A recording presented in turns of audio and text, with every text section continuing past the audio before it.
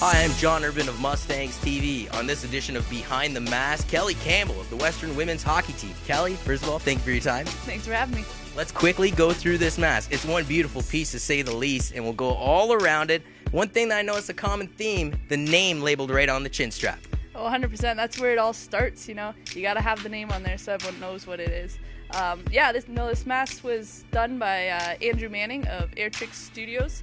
He's a local guy right here in London, so I approached him and said I wanted kind of a Canadian military tribute type helmet, and I love airplanes, and that's basically what he went off of. So uh, I chose military because I mean it's so important in our lives, and Remembrance Day has meant so much to me over the years. So so yeah, so I got um, two planes on it. You can see we got a Harrier, which is just the coolest jet ever. Um, I saw it in Oshkosh with my dad um, when we went there for an air show. And the jet is supersonic, but it also hovers. So just phenomenal.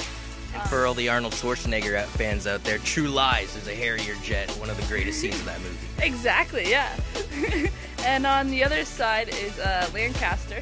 So my uh, my great uncle actually flew it in the war, so I wanted to have that on there. And you got my parents' initials, LC and IC, on there. Um, I'm noticing too, kind of like faded images I almost have to look really closely on. Something I, I have never noticed before. some faces, some Canada swag. Um, was this something that you had to tell the designer to do, or is it something they bounced off of you? Um, I asked for. We were kind of going back and forth with what we want to have it on it. Um, this I had no idea until I got the mask that he had put on there, which I think is super cool. It's just Canadian. Um, it's kind of like a hockey logo, like their older hockey logos. But um, then we have a new fighter pilot face in there with the fancy bucket and everything.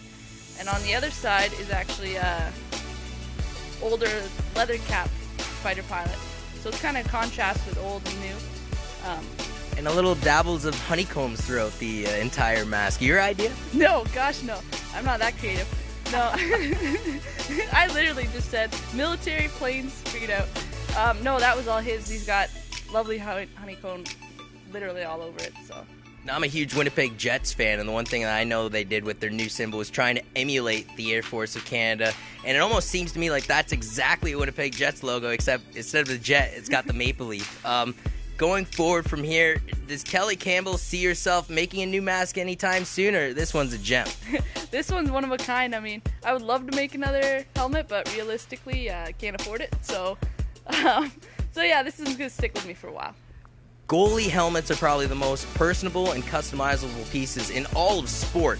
But one thing that everybody sees is the front when you're in between the pipes. One thing that they don't see all the time is the back. And usually goaltenders usually have a message or somebody that's riding on the back of their head on there. Do you have anything on the back of your mask? I have the best thing on the back of my mask. No, uh, I have two minions playing hockey on the back of my mask.